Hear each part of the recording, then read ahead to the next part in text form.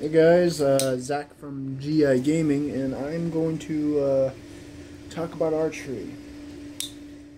And uh, well, the thing is, is that a lot of people, or a lot of kids, get this kind of wrong, and it looks like they're fucking stupid when they do it at the archery range. So I'm just gonna show you some tips about stuff, and usually I will go over safety, but they already got all that stuff down, like with checking the arrow and seeing if there's any cr cracks, and then doing the bending test, or when you have your uh, your finger tabs and your uh, arm guard. But no, what I'm talking about is actually nocking the arrow, which is uh, doing that putting the arrow on the on the arrow rest, and then your first anchor point. And after that, you know, the shooting and all. So, and to be honest, they don't get that right. I mean, it takes them a couple minutes for them to actually nock the arrow, for them to actually do that and they never get the right anchor point or the same anchor point, and archery is all about consistency. But once they do get the right anchor point, they don't shoot it right. They don't shoot it the way I just did, which is let your fingers go back and relax them. Because what they do is a static release or they just shoot it without the finger tab and it shoots straight up. Actually, no, that's still not a static release. I still went back like this, and I'm used to that. Used to going back like this, which is what you're supposed to. Ow, which is what you're supposed to do. But uh, no. So I'm just going to teach you guys how to do a couple things for you guys, you gamers out there to not look like a dumbass when you guys go out in the archery range. And starts, you hold the arrow. Actually, not you don't have to do this, but easiest way is to hold the arrow towards the base so you can actually get a better grip at it when you nock it. And then what I do is I rest the actual arrow string on my uh, arrow on my uh, arm guard so it won't go anywhere. And then I just do this.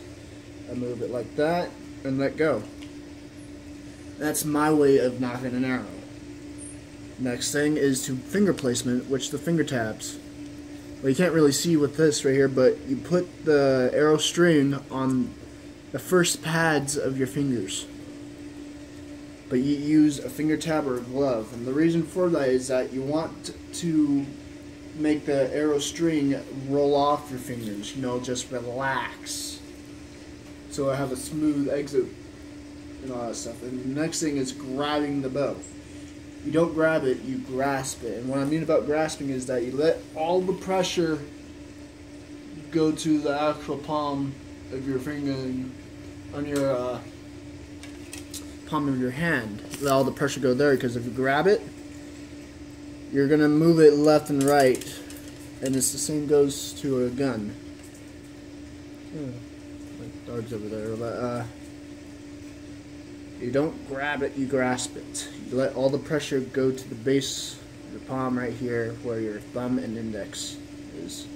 You don't do that like you see in freaking Battlefield. No, you don't do that. That's kind of stupid. Right? You actually, what I do is I let my uh, index touch my my thumb. Not even do anything. But then again, if you grab it like I just did it, you'll get bow shock, which is vibration, straight from the bowstring all the way to your hand.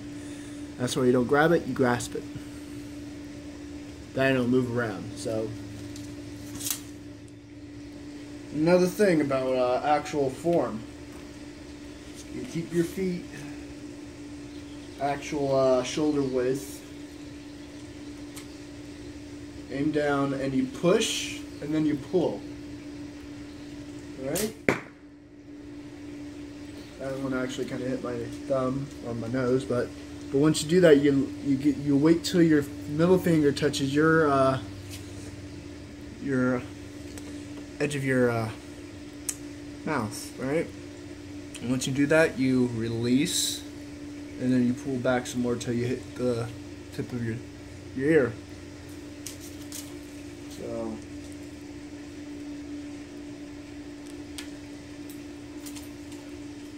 Another thing is that if you're using a sight, your anchor point's going to be your nose. So once that uh, once that bowstring hits your nose, you release. If you're using a sight, I'm not using a sight, so it goes all the way right here, and you use both of your eyes when you're not using the sight. You don't use one, you use both. With a sight, you use your you use one.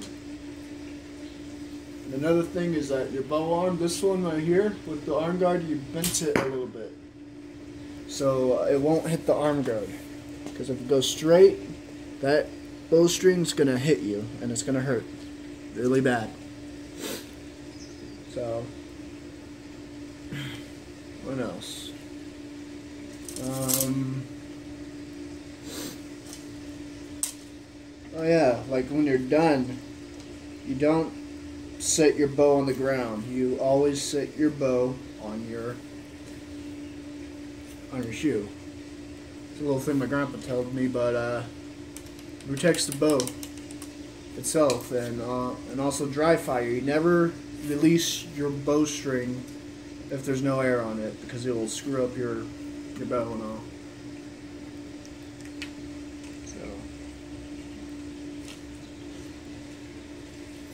Mostly the release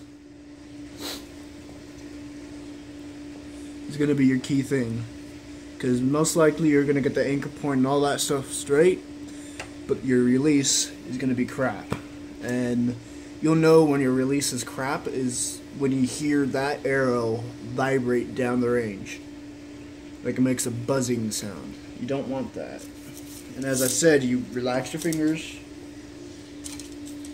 and you move back like that. Your hand has to be in the same plane as the arrow, or perpendicular to the arrow path. You guys want to be really, uh, really precise. And the bowstring just slapped me, so it hurts. Trust me on that.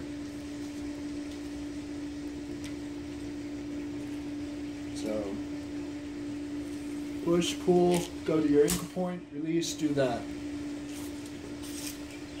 But you keep your eye on the target at all times.